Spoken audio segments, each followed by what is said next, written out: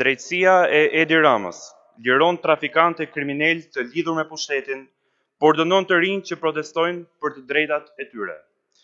Kjo u dëshmua së fundmi nga dënimi politik i anëtarit Forumit Rinor të Partisë Demokratike Oleg Gora, nga gjyqtari politik Arben Micko, babai i nënkryetarit FRESH Artur Micko. Krimi i të riut opozitar ishte goditja me vezë e Erion Veliajt, në shenjë proteste kundër prishjes së Teatrit Kombëtar.